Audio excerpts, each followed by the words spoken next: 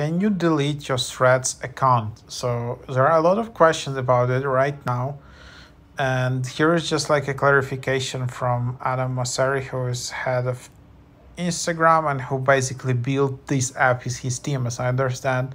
So there are these options. To clarify it you can deactivate your threads account which not deleting but deactivating which hides your threads profile and content and you can set your profile to private and you can delete individual threads posts all without deleting your instagram account. Threads is powered by instagram so basically right now uh, it's just one account but we are looking uh, into a way to delete your threads account separately.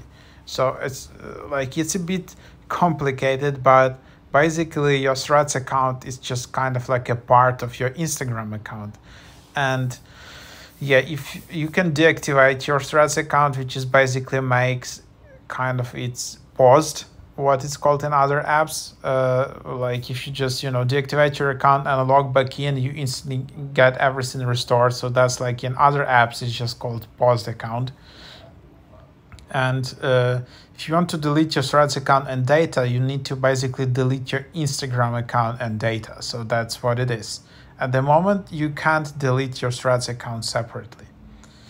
There you have it.